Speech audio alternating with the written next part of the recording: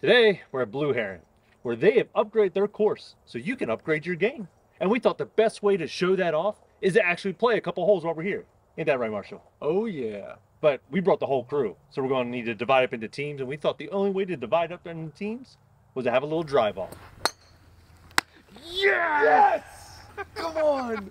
Let's go, George. Who do you think's going to have the best first hit on this hole? Uh, judging on the driving range, I'm going with George. Nice. Yeah, my partner. Here we go, George. Uh-oh. So we're about to tee off on hole three right now. I've noticed lots of changes. Can you tell us what you kind of done? Yeah, so this hole, we've actually expanded the green. It's about three times the size of what it used to be. Uh, we put a nice runoff area to the left, so any balls will roll down the hill. And then players can have their option of chipping or putting it back on the green. But you trying you trying to hook this thing? Where are you aiming? I think he's trying to avoid the I appreciate the thought, Marshall.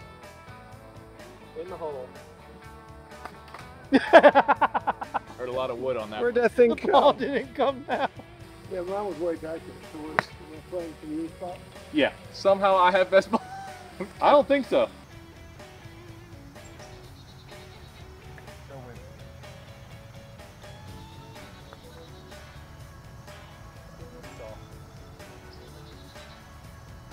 So we're at the end of five. We're about to jump on the six, but I've noticed some changes. It looks really pretty here. So what'd you guys do? Yeah, great. So we expanded this green as well. Um, cleaned everything up behind it. There used to be some old trees. And they mown the fairway height right over to 6T. So you walk right off 5 green, it continues right on to 6T. And it cleans everything up. It's real pretty back here. This is like the perfect place to sit and watch people swing and miss, right? Oh yeah, you can come out here right on the bench and you have uh, 6T, 5 green, and then that goes to 8T over there. So you can watch a couple different holes while you're out here. But, uh, it's just a pretty spot on the golf course. It's great. Also on five, I noticed we, we, we went over some water. You're redoing the bridges, right? Right, we're going to redo the, the uh, big bridge on number five and put a cart path in because it gets kind of wet down in that low area.